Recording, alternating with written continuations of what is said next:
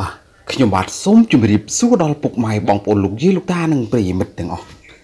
ដែលតែងតែនិយមតាមដានស្រាប់ព័ត៌មាននិងចំណេះដឹងផ្សេងៗតាមសង្គម YouTube ជាទីគោរពនិងជាទីមេត្រី ក្នុងគណៈពេលនេះដែរខ្ញុំបាទមានព័ត៌មានមួយដែលមានចំណងជើងថាមុខមាត់ទេវតាប្រុសយប់មិញកំពុងអង្រួនបេះដូងអ្នកលេង Facebook បាទ មុននឹងចូលដល់ខ្លឹមសារនៃអត្ថបទព័ត៌មានសូមពុកម៉ែបងប្អូនជួយចុច like ជួយចុច subscribe ដើម្បីទទួលបានព័ត៌មានថ្មីថ្មីៗកាលពីម្សិលមិញនេះគឺជាថ្ងៃមហាសង្ក្រាន្តឆ្នាំថ្មី ដែលប្រជាពលរដ្ឋខ្មែរទូទាំងប្រទេសតែងតែមានការរៀបចំទទួលទេវតាឆ្នាំថ្មីយ៉ាងពុះពេញដោយភាពរីករាយបំផុតក្នុងនោះផងដែរមានការផ្ទុះ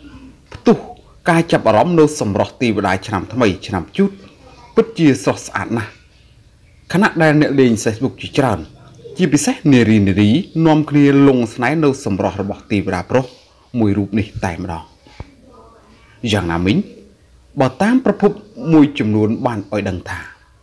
នារីនារីជាច្រើនកំពុងតែលងសម្រស់របស់ទេវតាប្រុសរូបនោះដោយសារតែ